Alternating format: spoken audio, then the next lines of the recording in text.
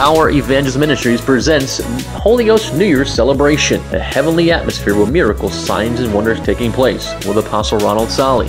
One man with a revelation was able to save lives. If God can do it for Joseph, He can do it for you.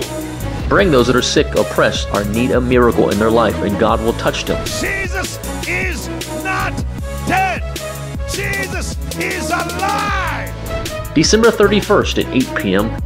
The address is 400 South Swinton Avenue in Delray Beach, Florida. For more information, visit our website, powerevangelism.net, or call us on the ministry line 561 337 9018. Miracles still happen. Jesus is Lord.